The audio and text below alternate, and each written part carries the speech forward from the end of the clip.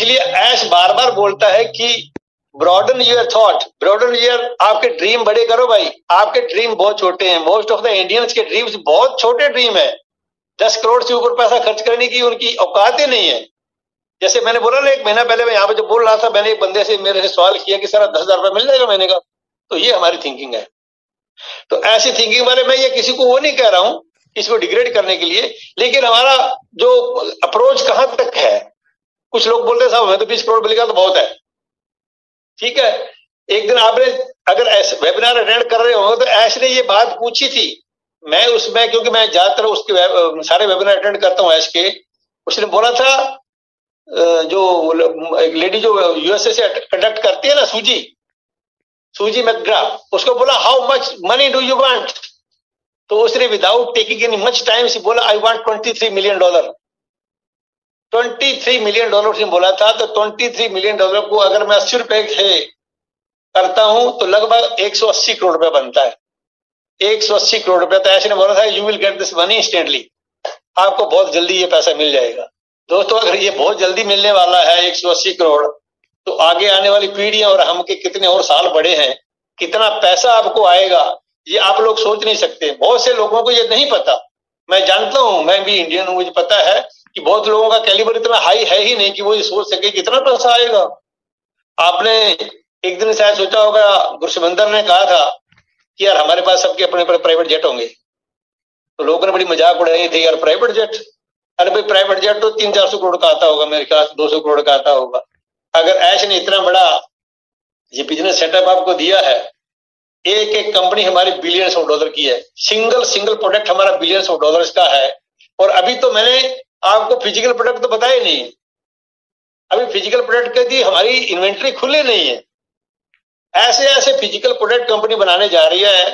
हालाँकि पता नहीं है, मैंने तो मेरी एक दिन, मैं तो ऐसे उड़ान मारता हूँ, जब जब हैदराबाद में गया था तो चार पाँच लोग हम गाड़ी में थे, हरी शर्मा जी मेरे साथ थे, कुंदन सिंह था मेरे साथ तो उनको मैंने एक ऐसे एग्ज़ाम्पल दे दिया बड़े खुश है, बोले, साहब, कमाल ऐसा होगा क्या? मैं क्या हाँ ऐसा भी कोई मोबाइल आएगा हमारे पास कि जिसको रिचार्ज करने की ज़रूरत ही ना पड़े शायद। और आप वर्ल्ड के किसी भी कोने में जाके खड़े हो जाए, आपकी फाइव स्ट्रेंथ फाइव बात कर सकते हैं आप, और उसको रिचार्ज भी कभी नहीं करना पड़ेगा। एक दिन ऐसे ने खुद एग्ज़ाम्पल दिया था कि अगर मान लो एप्पल कंपनी एक टीवी लेके आती है हैदराबाद, वो बोले कि oh we will grab it हम तो जल्दी ले लेंगे। तो उन्होंने उसे कितनी अच्छी क्वालिटी का बोला कि अगर ये हमारे पास, हालाँकि उसने ये वर्ड यूज़ नहीं किया, लेकिन उनके मन में था ये कहने का। बहुत सी बातें ऐश कहते कहते रुक जाते हैं क्योंकि उनको पता है कि सब कुछ ऐसे डिस्क्लोज नहीं किया जाता, लेकिन उस पर दोस्तों काम हो रहा है। इस सब के ऊपर काम हो रहा है सीक्रेटली बहुत बड़ा धमाका। ऐसे नहीं है, मैं आपको बताऊँ, इतना बड़ा धमाका किसी दिन मचेगा इस वर्ल्ड के अंदर तो दुनिया स्तब्ध रह जाएगी। Whole world will become dumbstruck dumbstruck होता ना? स्तब्ध हो गए, चंबा हो गया यार ये क्या हो गया? जैसे अमेरिका ने बम डाले थे ना तो हिरोशिमा और नागासाकी के ऊपर उन्नीस सौ पैंतालीस में तो उन दो बम्बों ने हिरोशिमा और नागासाकी को तबाह कर दिया था। वो लो इंटेंसिटी बॉम्ब थे, लो इंटेंसिटी न्यूक्लियर बॉम्ब्स। दोस्तों अभी एक ऐसा बॉम्ब फटेगा, उस बॉम्ब का नाम है ऑन पैसिव। और वो इस ज़मीन पे ऐसा फटेगा कि उससे एक भी शहर ऐसा नहीं बचेगा, एक भी गाँव ऐसा नहीं बचेगा, जिसके ऊपर इतना पॉजिटिव असर ना हो जाए कि उनकी आने वाली पीढ़ियाँ याद रखेंगी। हिरोशिमा वाले तो आज बेचारे याद रखते हैं कि हमारे को डिस्ट्रॉय कर दिया। लेकिन इसका पॉजिटिव इफ़ेक्ट इतना बड़ा होगा इस बॉम्ब का कि आने वाले कई सालों तक दुनिया ऐस के पीछे भागेगी, हमारे पीछे आएगी। एक दिन ऐसे वर्ड यूज़ किया था कि all the founders will be hunted यानी कि हंट का दो मीनिंग होते हैं। हंट का एक मतलब होता है शिकार करना, दूसरा होता है खोज करना। जैसे कोई बड़ा अपराधी हो ना तो इंग्लिश की न्यूज़ में आती है कि a massive hunt is on कि उसको खोजने की बड़ी हंट हो रही है भैया। तो हमारे भी हंट होगी, ये नोट करें आप लोग। आपके घर में गाड़ी लेकर के लोग आएँगे, यार आप फाउंडर हैं क्या? ओ यार हमें भी कराइए हमें तो पता ही नहीं था। जैसे कल ही मेरे पास एक फ़ोन आया कि उन्होंने, शायद हाँ गावंडी अनूप गावंडी जी सुन रहे होंगे, उन्होंने कहा कि उनका एक बंदा फ्रेंड था। उन्होंने बाद में फ़ोन किया गया मेरे को बताओ, मैं इसको ज्वाइन करता हूँ। तो अनूप जी ने कहा कि भैया अब तो वक्त निकल गया है। अभी आप फाउंडर नहीं बन सकते हैं। एक अभी आगे चांस मिलेगा आपको। यू कैन बिकम इधर रीसेलर और कस्टमर बन सकते हैं।